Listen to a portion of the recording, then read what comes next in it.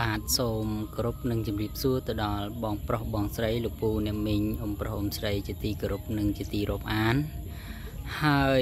ក្នុងថ្ងៃនេះផងដែរខ្ញុំបាទត្រូវបានពឹងពាក់ពីបង ដែលជាម្ចាស់រថយន្តបាទដែលជាម្ចាស់រថយន្តឲ្យខ្ញុំបាទជួយផ្សព្វផ្សាយដើម្បីធ្វើការលក់ជូនគាត់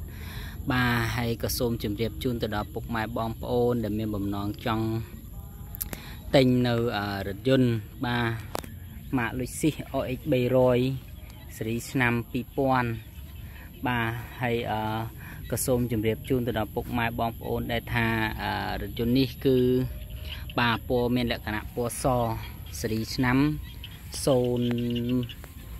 00បាទគឺឆ្នាំ2000បាទពណ៌កម្មៃហើយដែល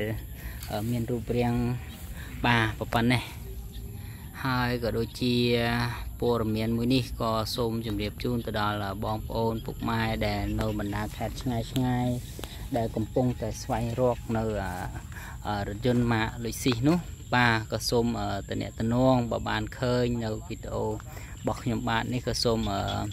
តំណតំណងមកលេខទូរស័ព្ទនៅពីខាងក្រោមរបស់ឡាន បាទហើយព័ត៌មានឡាន គឺអឺបន្តិចទៀតនេះខ្ញុំបាទនឹងរៀបរាប់ជូនទៅដល់ពុកម៉ែបងប្អូនមើលដើម្បីឲ្យបាននៅព័ត៌មានពឹស្ដាមួយ ដែលយកជាផ្លូវការបាទជាសម្រាប់ជាព័ត៌មានបឋមសម្រាប់ពុកម៉ែបងប្អូន ដែលនៅឆ្ងាយឆ្ងាយបាទហើយក៏ដូចជាបងប្អូន ដែលនៅទីចិត្តក្តី ដែលកំពុងតែស្វែងរកបាទ ទិញឬក៏ចង់ដោះដូរនៅរថយន្តរបស់គាត់យកសេរីថ្មីថ្មីនោះបាទក៏សូមអឺជ្រាបជាព័ត៌មានដូចតទៅ បាទហើយអញ្ចឹងអឺជាដំបូងនោះយើងចូលទៅមើលនៅអឺគ្រឿងក្នុងនៃឡានទាំងអស់គ្នាបាទឥឡូវយើងមើលទៅលើបាទអឺនេះផ្នែកខាងក្នុង ផ្នែកតាប់ឡូផ្នែកអីហ្នឹងបាទពួកនេះអូស្រោមពុករៀងដាច់តិចស្រោមពុកនេះគឺស្បែកស៊ីនណាបងប្អូនណានេះបែកស៊ីនដែលដោះមកតារបូតស្បែកនេះមកឃើញពងវាខាងក្នុងអាបាទអញ្ចឹងវាស្បែកមានលក្ខណៈស្បែកឃើញប្រេះប្រេះតិចតិចហ្នឹងបាទប៉ុន្តែមិនមែនជាជាដុំជាកំភួនអីទេបងប្អូនណាបាទសម្រាប់លុចស៊ីសមួយ OX 300ពណ៌កម្មៃស៊េរីឆ្នាំ2000បងប្អូនមើល បាទខាងក្នុងគឺមានលក្ខណៈអត់មានឆ្កូតអត់មាននេះអីទេបងប្អូនមើលទាំងអស់គ្នាបាទចូលរួមមើលណាកុំឲ្យ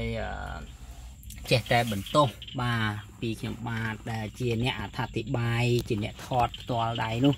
បាទឥឡូវយើងចូលរួមមើលទាំងអស់គ្នាបាទចំពោះបញ្ហាស្កូតបែកបាក់គ្រឿងជួអីដូចអត់មានទេ បាទនេះបងប្អូនមើលបាទដូចអត់មានទេឥឡូវយើងមើលស្រោមពូកមើលអីណាណា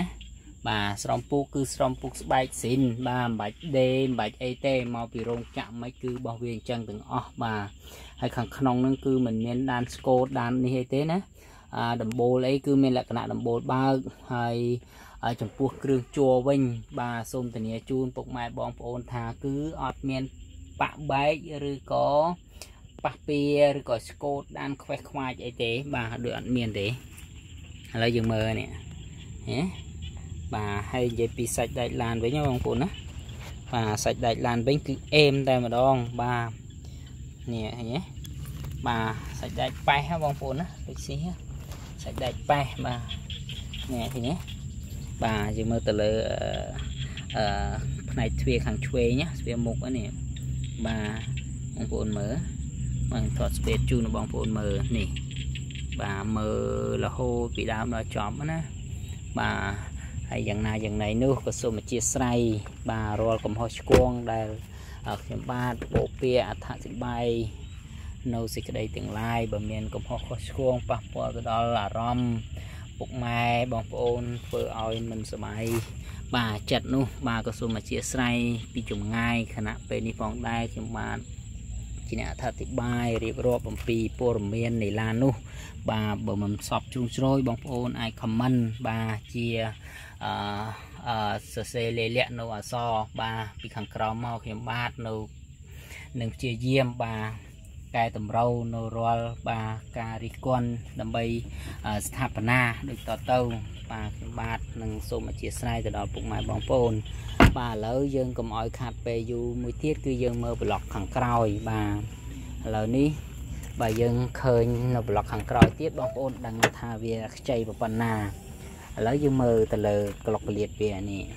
ណាបាទឡានណាណាបើសិនណាឡាន នេះឃើញទេនៅស្នឹមវាអញ្ចឹងវាអត់ទាន់ដោះហើយតកាលណាយើងដោះឃើញគ្នាហើយអត់មានប៉ះហើយណាឡាននេះបាទចង់ជម្រាបជូនពុកម៉ែបងប្អូនថាឡាននេះគឺឡាននៅសំណុំបាទឥឡូវយើងមើលនេះឃើញទេសាច់ដែកបាទពើងតែម្ដងបងប្អូនណាបាទសាច់ដែកពើងតែម្ដងនេះណាបាទអានេះដបូលខាងក្រោយ បាទនៅថ្មីឡាននេះមានន័យថាបើតាមខ្ញុំដឹងដូចជាមិនមែនជាអ្នកវឹកវើនៃទេពុកម៉ែ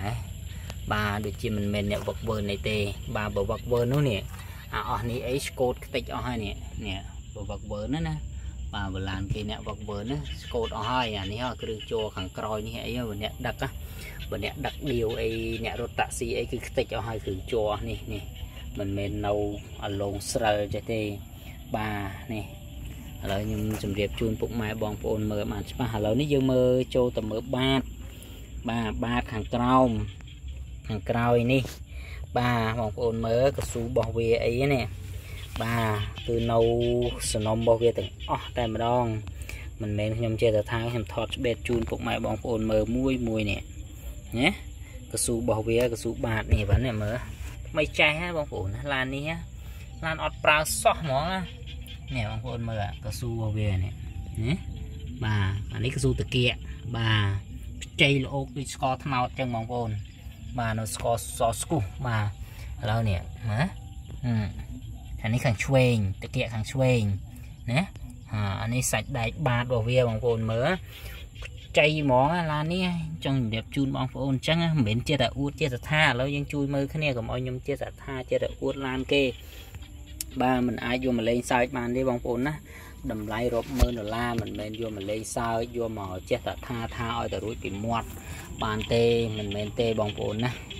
បាទឡានរាប់ម៉ឺនដុល្លារមិនអាចយកមកលេងសើចបានទេបាទ